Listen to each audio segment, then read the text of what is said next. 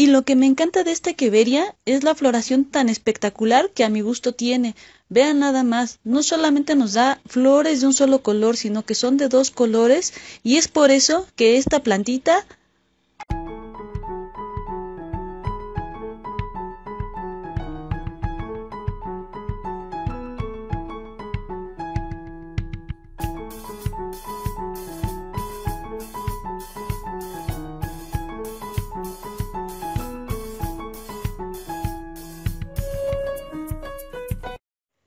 a todos, bienvenidos a un nuevo video de nuestro canal Verde Suculenta. El día de hoy vamos a platicar acerca de una suculenta muy especial y que es endémica de México, que es muy bonita no solo por la forma que tienen sus hojas y en sí la suculenta en general, sino también por la textura de estas, tanto su tallo como sus hojas tiene una textura muy especial y además es muy fácil de conseguir. Prácticamente la pueden encontrar en cualquier vivero de, la zona por la que vivan, y nos referimos a esta hermosa plantita que se llama Echeveria pulvinata rubí. Así que si quieren saber todo sobre ella y sus cuidados, los invito a que me acompañen a ver este video. Y bueno amigos, como ya les había mencionado, esta Echeveria pulvinata rubí es una suculenta originaria de México, específicamente del hermoso estado de Oaxaca y pertenece a la familia de las crasuláceas. Esta plantita también es conocida con el nombre de Echeveria peluda, Echeveria de terciopelo y Echeveria de almadillas. Esto debido a que su tallo y sus hojas están cubiertas por una especie de pelillos que le dan una apariencia como aterciopelada o velludita, que es lo que pueden ver aquí. Sus hojas son en forma de espátula, que es esto que estamos viendo, y terminan en punta. Estas hojas forman una roseta que es muy característica ya de, del género Echeveria y es una suculenta arbustiva, es decir, no nos va a crecer mucho en altura, máximo va a alcanzar más o menos unos 25 centímetros, pero es perfecta para inexpertos o principiantes con nuevas plantitas suculentas, ya que es de muy fácil mantenimiento y realmente se las recomiendo si ustedes están iniciando en esto de coleccionar cactus y suculentas. Así que, sin darle más vueltas al asunto, vámonos con los cuidados que necesita para que la tengan preciosa y perfecta. Vamos a comenzar con lo que es la, luz o la iluminación. Nuestra queveria de terciopelo es una suculenta que tolera muy bien la exposición solar directa de todo el día. Debido a esta capita de pelitos con la que cuenta, difícilmente nuestra suculenta va a sufrir de quemaduras por el sol. Sin embargo, hay que considerar que si en la zona en la que viven el calor es muy intenso, entonces sí es recomendable que la expongamos solamente al sol de las mañanas.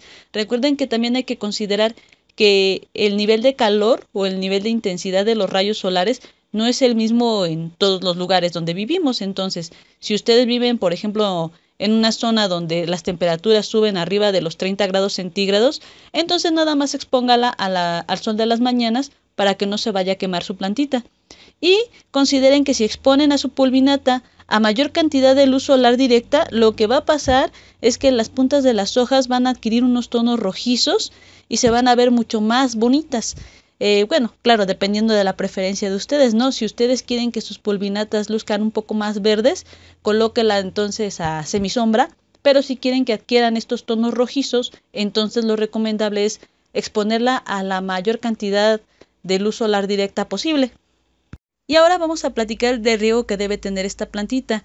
Lo que le vamos a dar es un riego estándar, hay que regarla cada que el sustrato se encuentre completamente seco y que sea un riego profundo, es decir, que le vamos a, le vamos a dar agua hasta que veamos que salga por los orificios de drenaje de nuestras macetas. Aquí solamente hay que cuidar que cuando la reguemos no se queden gotas estancadas en las hojas de nuestra pulvinata, ya que por esta textura de pelitos que tiene, normalmente se quedan atrapadas las gotas, no se disuelven tan fácilmente y esto nos puede traer algún problema de hongos en, en las mismas. Entonces mejor vamos a regarla sobre el sustrato. Y como siempre, una vez que llegue la estación de otoño, vamos a ir reduciendo los riegos poco a poco para que cuando estemos en invierno prácticamente la vamos a evitar regar ya que en este periodo pues, de, de, tiempo pues va a ser más vulnerable a que se nos vayan a pudrir o a que vaya a sufrir ataques de hongos. Y eso sería todo respecto al riego de nuestras pulvinatas.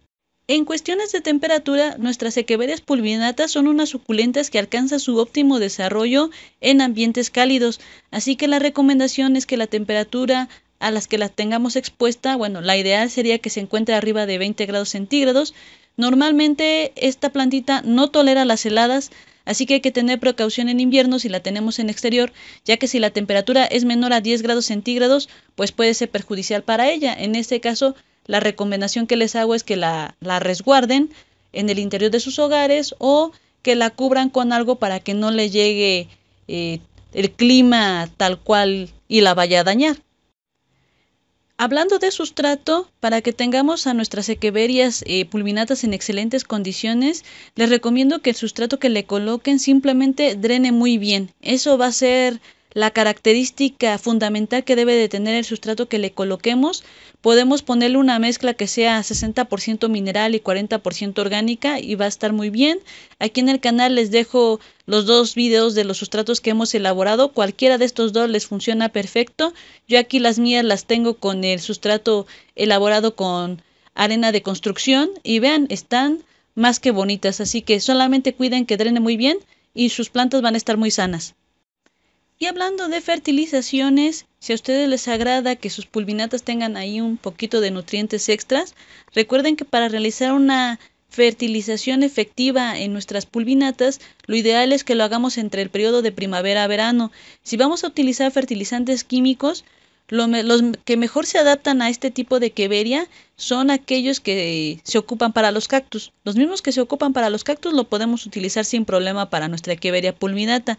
Y en el caso de que quieran realizar un abono un poquito más orgánico, podemos colocarle lo que son cascarones de huevo molido en el sustrato o también podemos regarla con agua de arroz o con té de cáscara de plátano. Cualquiera de, de estos 12 infusiones le va a servir muy bien y esto se lo vamos a colocar una o dos veces al mes y con esto nuestras plantitas van a estar muy muy bonitas. Aquí mis pulvinatas lo que hago yo, como no me gusta mucho colocarles este agentes químicos, las riego, eh, uno de los riegos que les doy, aprovecho para ponerle ya sea agua de arroz, incluso té de manzanilla les he llegado a poner y vean qué bonitas están. Ahora sí que las nutrimos de la forma más natural que nosotros podamos. Cuando queramos propagar o reproducir nuestra Echeveria pulvinata, lo podemos hacer por tres métodos, que son los más sencillos que conozco para esta plantita, que puede ser a través de las hojas, de esquejes de tallo, o también lo podemos hacer por hijuelos, porque esta suculenta suelta muchos hijitos también.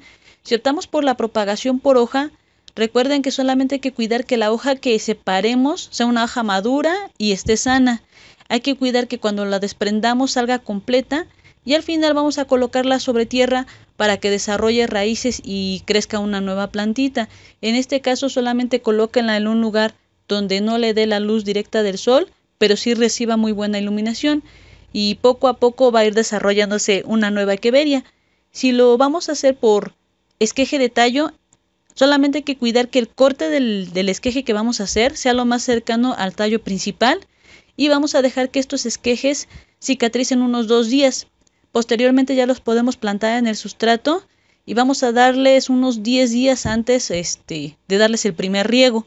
Y poco a poco también estos esquejes van a desarrollar raíces para convertirse en otros ejemplares de nuestras equeverias pulvinatas. Les recomiendo que cuando hagan cortes en sus plantas tengan a la mano ya sea azufre en polvo o polvo de carbón vegetal molido para que le pongan ahí en, en, los cortes y no tengamos problemita de que les vaya a querer entrar algún hongo o una bacteria.